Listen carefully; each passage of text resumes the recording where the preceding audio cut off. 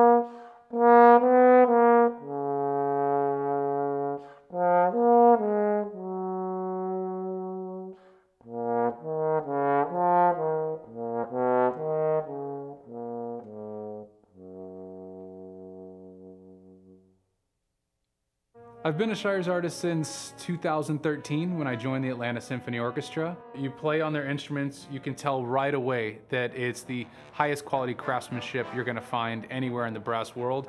And not only that, they're just the nicest people I've ever come across. And it's such a pleasure to work with everybody there. I continue to play Shires because it's simply the greatest bass trombone I've ever used in my life. And now that I'm a tenor trombone player on tenor and bass, it carries my voice from my head out into the world so that I can share with everyone the sound that I want to sing with. You can find Shires at the Houghton Horns showroom in Keller, Texas. If you're not super close, you can go on their website, contact them through their social media pages, call them.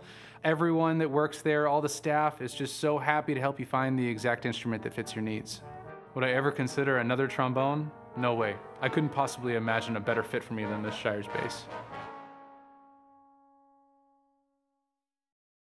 Etude number 23 from the Grigoriev 24 Studies for Bass Trombone has such a simple, beautiful melody.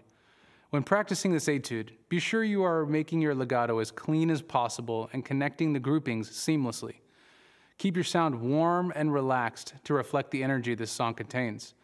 Feel free to play with a lot of rubato throughout, or molto espressivo, as the music states at the beginning, to help build more emotion into the piece. There is so much musical information here. I like to treat it like a puzzle. I move the time forward here, back there, play around with the dynamics, and see if I can unlock what the piece is trying to say.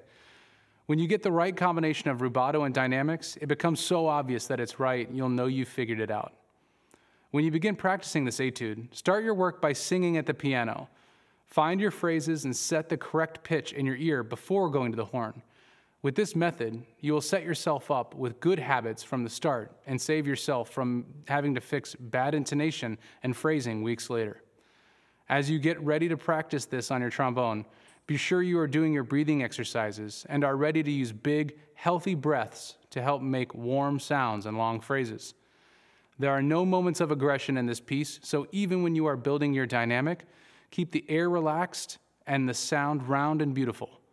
Alternate positions are going to be your friend on this one and will help make your slide work easy. Be sure you are practicing alternate positions in your daily routine so you can keep your greatest sound on every note regardless of where each note is played. Look for opportunities to create natural slurs and most importantly, opportunities to make more music.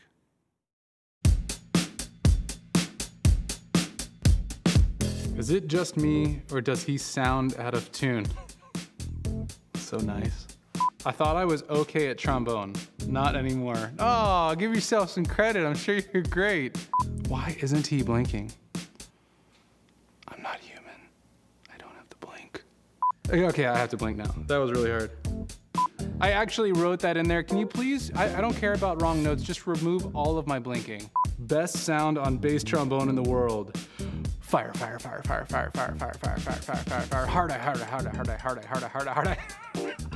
Fat sound. You hear that, girl? You get a fat sound. Yeah. Thanks, Shires. Darth Vader. Is that a good thing or a bad thing? that tone is to die for. Heart face emoji.